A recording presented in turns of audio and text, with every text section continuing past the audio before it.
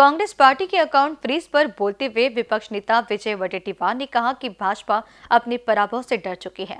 जिस प्रकार से कुश्ती में पहलवान हारते वक्त चिड़ी का डाव खेल जीतते हुए खिलाड़ी की लंगोट खींचता है कुछ वैसा ही प्रकार भाजपा करी है। जो कांग्रेस के खातों को आ, सील किया गया है ये भाजपा की हार की जो आ, उनके सामने हार दिख रही है वो डरी हुई है हार से। इसीलिए कांग्रेस के अकाउंट को उन्होंने सील करने का काम किया है। एका एक पहलवान को डर लगता है, तब वो मज़बूत पहलवान की लंगोटी खींचने का काम करता है, लंगोट को खींचने का काम करता है। उसी तरह भाजपा ने हार के पहले ये जो दिख रहा है, इसीलिए कांग्रेस के खातों को सील किया है, पर हम लोग डरेंगे नहीं। विशेष रूप से मैं ये कहूँगा कि अभी बातों बातों में भारतीय जनता पक्ष के जगह मेरा कांग्रेस ये नाम उसमें आया था बातों में। तो मीडिया को भी मैं बताना चाहता हूँ कि जब भाषा बात करते वक्त कभी ये गलत जबान गलत निकल जाता है या गलत मिस मतलब शब्दों का गलत तो निकलता है शब्द तो उसको भी थोड़ा दुरुस्त करें।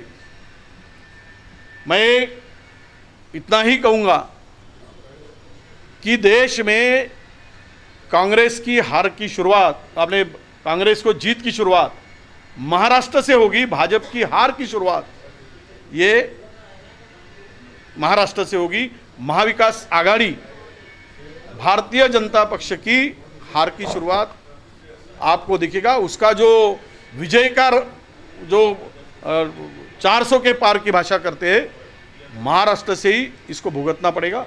केजरीवाल जी को भी अरेस्ट करके उन्होंने यही अपने पैर पर कुरारी मारी है और उसका मुआवजा भारतीय जनता पक्ष को भुगतना मिलेगा, भुगतना पड़ेगा। मुझे लगता है कि आज के स्थिति में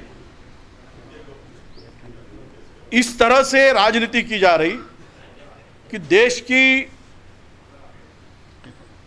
डेमोक्रेसी को खत्म करने का काम किया जा रहा है। अब वो अघोषित इस देश में आनी बानी सदृश परिस्थिति पैदा की गई है।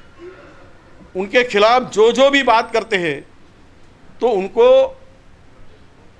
आरोपी बनाना या उनके ऊपर कार्रवाई करना, यही काम पूरे देश में चल रहा है।